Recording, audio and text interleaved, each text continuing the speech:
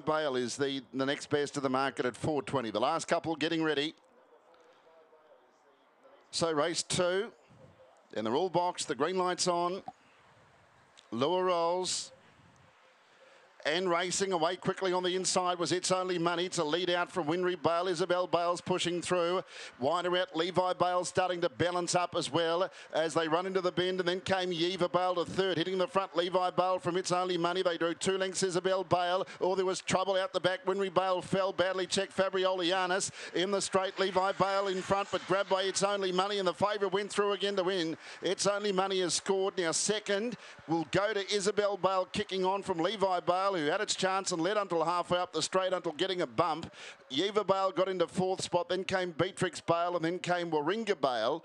Uh, back towards the end, we had Winry Bale, who was in trouble uh, with a fall uh, just before the uh, the turn. Uh, Fabriolianus, I've really called it, was also in the second half of the pack. 22.43 the time. It's only money. Well, it looked like it might be down the drain coming up to the uh, 100 metres because Levi Bale went straight past it.